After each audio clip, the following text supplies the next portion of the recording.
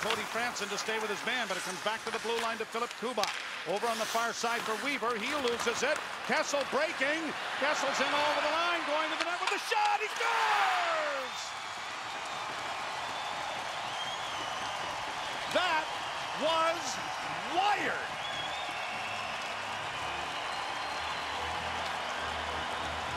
This play really starts in the Leaf zone with some excellent defensive zone coverage. And they're not in any trouble at all here. And then what a pass from Van Riemsdyk right to Kessel. And that's his first even strength goal of the season. And he needed that desperately as he wires it short side up over top of the glove of Jose Theodore. What a shot that was. And we've seen that many times. And when he gets going down the wing and is offside like that and gets all of it, not many goalies in the world are going to stop it. He just exploded that off his stick. Let's get a look on the ISO here. And watch how he just. No backswing at all. Head up, picks a spot. And boy, does he have one of the better releases in the league when he gets it off that side. Man.